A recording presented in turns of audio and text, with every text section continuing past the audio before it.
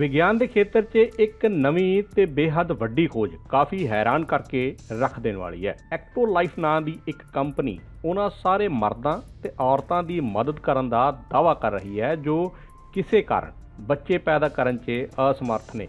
ਦੁਨੀਆ ਦੀ ਪਹਿਲੀ ਨਕਲੀ ਕੁੱਖ ਦੀ ਸਹੂਲਤ ਨਾਲ ਫੈਕਟਰੀ 'ਚ ਹਰ ਸਾਲ 30000 ਬੱਚੇ ਪੈਦਾ ਹੋਣਗੇ। ਜੀ ਹਾਂ, ਜੇ ਇਸ ਖਬਰ ਤੇ ਯਕੀਨ ਕੀਤਾ ਜਾਵੇ ਤਾਂ ਭਵਿੱਖ 'ਚ ਮਾਂ ਦੀ ਕੁੱਖ ਦੀ ਬਜਾਏ ਹੁਣ ਫੈਕਟਰੀ 'ਚ ਮਨੁੱਖੀ ਬੱਚੇ ਪੈਦਾ ਹੋਣਗੇ।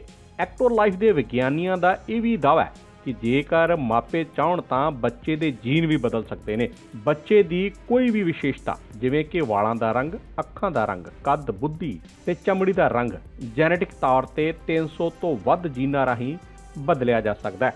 ਇਹਨਾਂ ਵਿਗਿਆਨੀਆਂ ਅਤੇ ਇਸ ਪੂਰੀ ਪ੍ਰਕਿਰਿਆ ਦੀ ਸ਼ੁਰੂਆਤ ਕਰਨ ਵਾਲੇ ਹਾਸਿਮ ਅਲ ਗਯਾਲੀ ਨੇ ਸੋਸ਼ਲ ਮੀਡੀਆ ਤੇ ਇੱਕ ਐਨੀਮੇਸ਼ਨ ਵੀਡੀਓ ਜਾਰੀ ਕੀਤੀ ਹੈ, ਜਿਸ 'ਚ ਦੁਨੀਆ ਦਾ ਪਹਿਲਾ ਨਕਲੀ ਭਰੂਣ ਕੇਂਦਰ ਵਿਖਾਇਆ ਗਿਆ ਇਸ ਵਿੱਚ ਬੱਚੇ ਦਾ ਵਿਕਾਸ ਹੁੰਦੇ ਦੇਖਿਆ ਜਾ ਸਕਦਾ ਹੈ।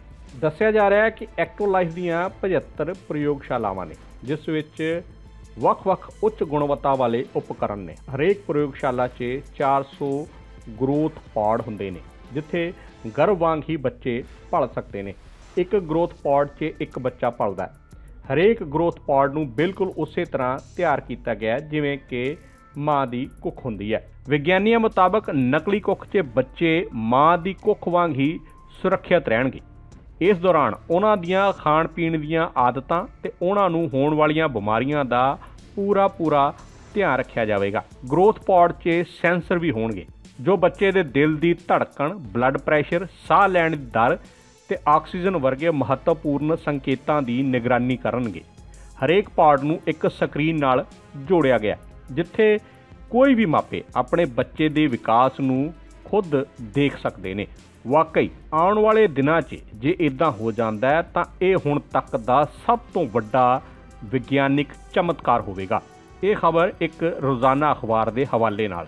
Bureau report Haqeeqat TV Punjabi. ਨਸੀਬ ਚਮਕਦੇ ਅਤੇ ਕਿਸਮਤ ਬਦਲਦੇ ਦੇਰ ਨਹੀਂ ਲੱਗਦੀ ਮੁਸਲਮਾਨੀ ਰੂਹਾਨੀ ਅਤੇ ਕਾਲੇ ਇਲਮ ਦੇ ਮਾਹਿਰ। ਬਾਬਾ ਵਸੀ ਜੀ 98780 ज़ीरो अठानवे अठाई। सौ प्रतिशत गारंटी नाल पाओ, हर परेशानी का हाल। बदलेगी तकदीर? सच्चा प्यार मिलेगा या नहीं? परेशानी जिम्मे प्यार च लव मैरिज वशीकरण करवाना चा तुड़वाना सौतन दुश्मन का खात्मा पति पत्नी च तलाक केस, विदेश पक्के होना, कर्जा मुक्ति, औलाद सुख। लाटरी नंबर पाओ, छे सौ उणंजा होवे चा लोटो मैक्स। धोखेबाज तो प्रेमी प्रेमिका अपने प्यार तड़फदा वेखो।